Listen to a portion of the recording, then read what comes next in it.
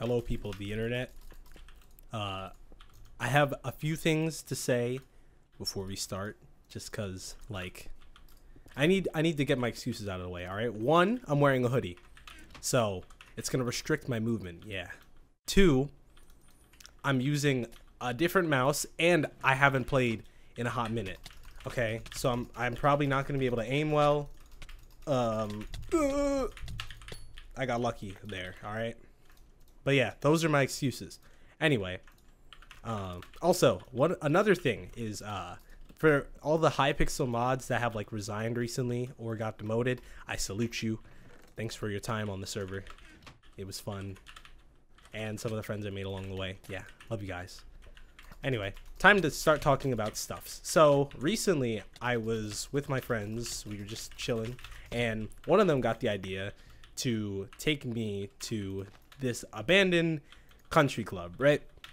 So they had been before by themselves and with other people, but I hadn't gone. And I didn't really like I, I mean part of my like part of me wanted to go just for the experience, but the other part of me was kind of like like imagine if it's haunted like you know that kind of thing uh i don't know what you what you believe in personally but like i don't know if, if ghosts are a thing i'm terrified okay but point is we we went to this country club and it was it was chill at first i guess on the way there.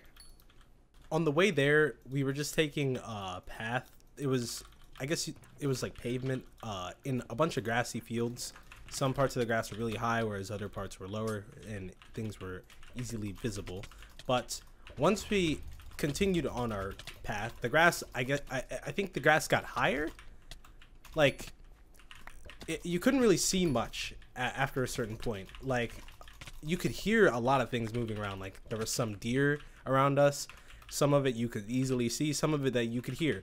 And since there was a whole buildup of like we're going to this abandoned area that people shouldn't go to and it could be haunted if you believe in that kind of stuff i was just paranoid this whole time. I was thinking like well like what happens if if something actually does happen? What if somebody's there? You know what i mean and i i don't think i've ever been that anxious about like i don't know there, i have some other stories of some scary experiences that involve other people but those are for another time. Point is the build up made it a lot more intense than it would have been. And honestly if i had the knowledge that i did when we first went there i probably would have gone again. There are some areas that i still probably am scared of i guess i, I don't know. It, it was a whole mess but at this point after walking for about 15 minutes we arrived where there's just a couple buildings. So um when we first get there there's a door and the door is like i guess leaning on the wall. It's not really like in place. It's just it, it's tilted up against the uh up against the frame it's supposed to be in that guy looks scary how did he kill him i i'm scared of this guy this guy's scarier than the whole than the whole story anyway when we were looking around to find a way in uh we noticed that there there was a first door that was just it was it looked too easy to get into. So we were like, that can't be the one. You know what I mean? It, it was just kind of that feeling that it could not have been the one. And since my friends had been there before, they, I guess they they knew where they should have gone into, like, or at least they were trying to find the same spot that they went through the first time. With that being said, no. With that being said, we were trying to find other areas to get into the building from. And when we were going around the backside of the whole area, we noticed something in the grass. So at this point, the grass was like not too high. It wasn't. It, we, we could see what was in the field. You know what I mean? It was just it was just kind of an open field, or that's what it looks like. But then I saw like it looked like what what looked like a pink scarf in the field, which when we got a bit closer, we noticed was a body, and I didn't go check it out because like that would be weird, right? But I, I, I assume and I hope it's just a homeless person. That would be a lot better than there being a dead body in an open field next to a burned down, abandoned uh, country club. You should you should fall off the edge. Yay, thank you. Now, where's this last guy? Okay. It was really scary at first, and when I got towards it, I couldn't really, like, like, believe it. Now, when we were looking for different areas to get into the place, we, we split up for a bit. Like, that's why I saw the body first, and that's why I told my friends to come over and check it out. After further evaluation, we decided it was our best course of action to just leave uh, leave it alone and just go into the building instead.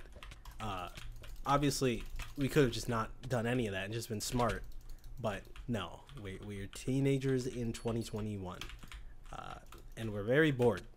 So, we found out all of the doors were bolted shut that were originally used. So the door that was tilted over was pretty much our last resort, and uh, we just we saw it and we took our shot, and it worked. Thankfully, well, I wouldn't say thankfully. I would have much rather just not gone in there. Period.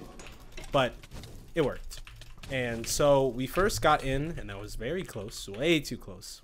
We first got in, and it was just dark. Like the only visible light was from the door that we opened and from the outside. And that should have just been that should have just been a no go off the rip. Like there should have that, that should have just told us like no, don't go in there. But we went in anyway.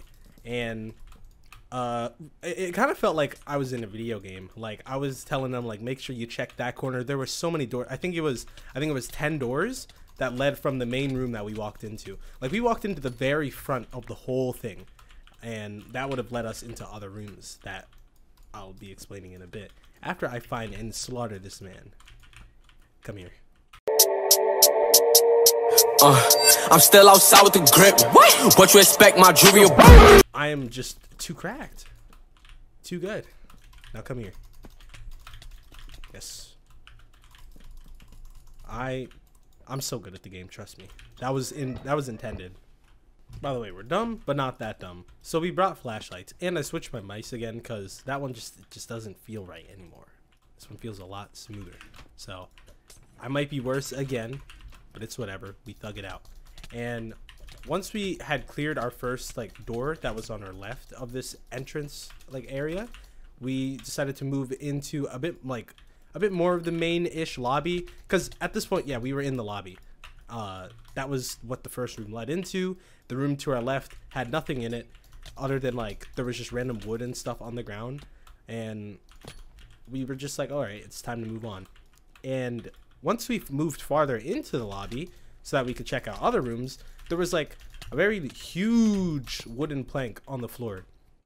And next to that was just a random shoe sitting there which i assume was probably just from somebody who uh, else who like had went to the place before because there are a lot of people that uh, go to my school and a couple other high schools here that have also gone to the uh, area before because it, it's pretty well known. I didn't know about it until my friends told me though. but then again, I, I really didn't have a life up until like I would say like June because that's when school ended and I started going outside and all that fun stuff, which some of you guys need to do and touch grass.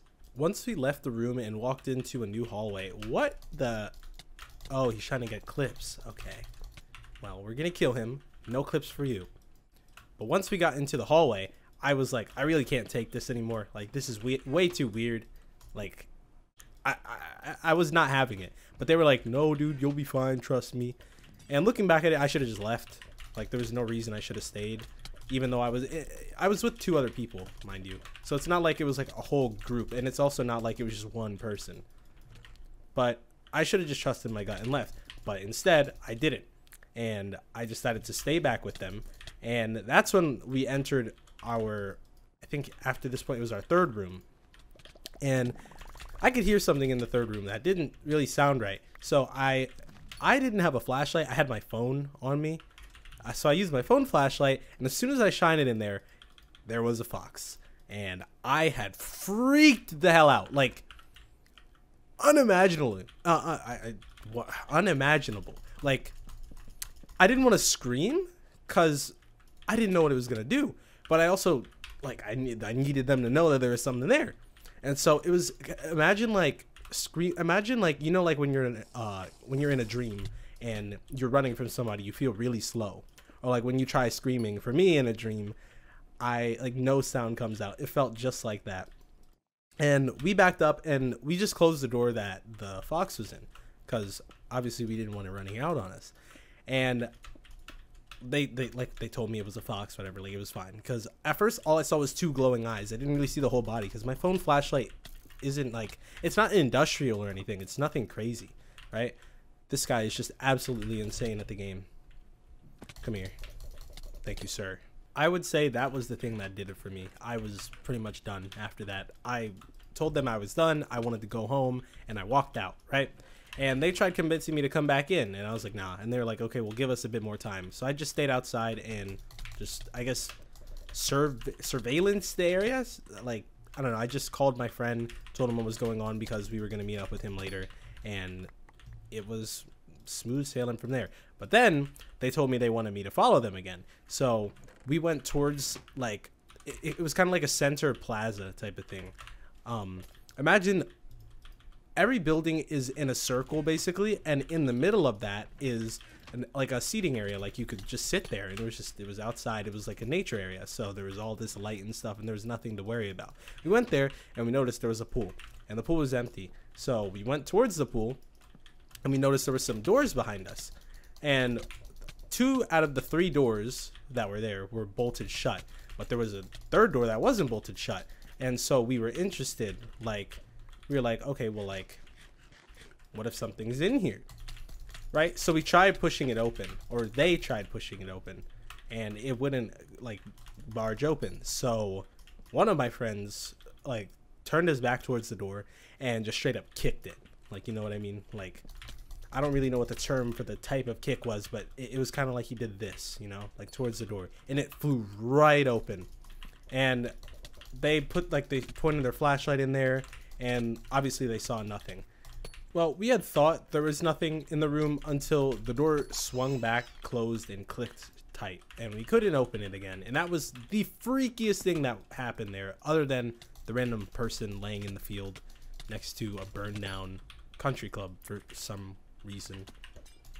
But we left. Like I, I that was it. That was the last, last, last straw for me. Like what I had already thought was bad, just so happened to get worse. And I, I, I don't think I've ever ran so fast in my life. I had left them behind, and I didn't care. Like I was not trying to die that day, and I started to freak out. They caught back up with me. We made it home, thankfully, our friend came back and we had to recall the whole story with him. And they're actually going by themselves soon. For some reason. Like, I. There's no warning them. It's too late. Whatever happens to them happens. If they get possessed, don't say I didn't warn them. Alright? Now, my life really isn't that eventful.